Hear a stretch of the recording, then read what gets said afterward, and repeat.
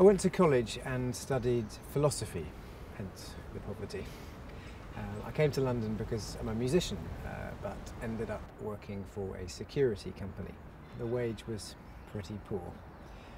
Uh, in 1995, it was five quid something an hour, and when I stopped in 2009, it was seven pounds an hour. The security company got us to go self-employed because it's cheaper for them.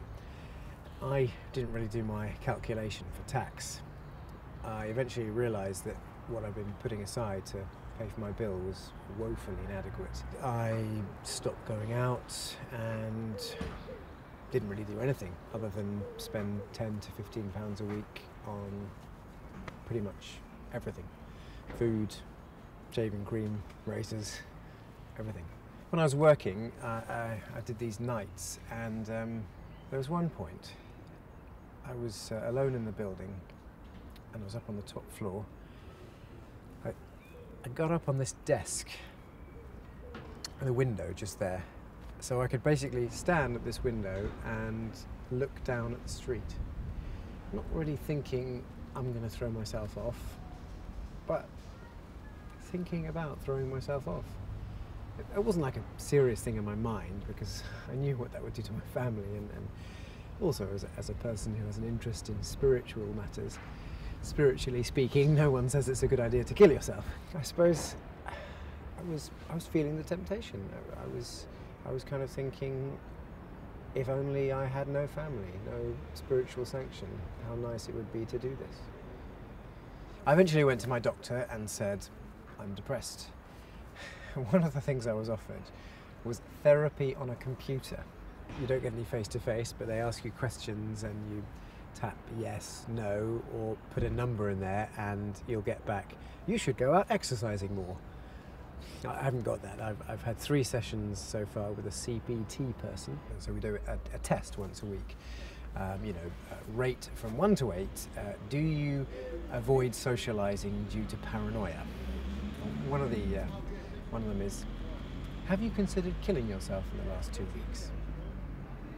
I I could have done more shifts at the security job, but I was knackered basically. So I thought, go on the dole or find a new job. And finding a, a job has been difficult because well, my CV reads security work for 15 years. I'm actually a lot better off now than I was. I'm on 64 pounds something a week, um, but I get my housing benefit as well. Plus, I'm not paying any tax. Uh, plus, I'm not paying council tax. Uh, and now my food bill is about 30 to 35 quid. I'm, I'm actually a lot happier. I'd be quite happy to maintain things as they are in a way because I can live and, and I can make music. When I last signed on, I was told that not only do you have to accept any work that's offered to you, but they can even make you accept work that doesn't pay you enough money to live on. It's good for the employers because they can offer a job that doesn't actually pay you enough money to live on and uh, someone has to take it. There was one, some sort of taxi thing, uh, working four in the morning to ten in the morning for less than the London living wage, and they had the nerve to say, must have good attitude. Oh yeah, I mean, you're going to be a lovely person getting in at four in the morning for rubbish money in a crap job. And the whole system now is that if you want to get a job that pays a reasonable amount, you have to sign up for body and soul.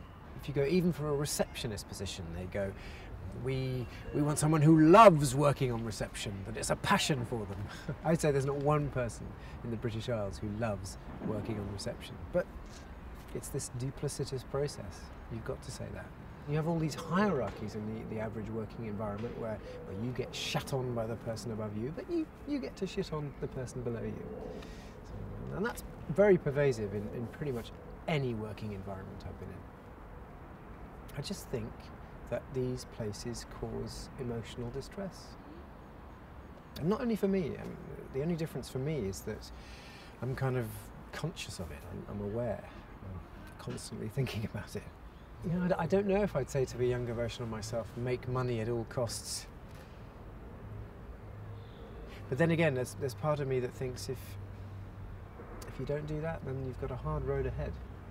And that again is, is when you get seduced into uh, you need to make sure, above all else, that you are an efficient money making machine. that's part of the thing, isn't it? Everyone is seduced, so that you stop thinking about as a society, what kind of society do we want, and, and instead, as an individual, how can I protect myself from all the bad things that will happen if I'm not loaded?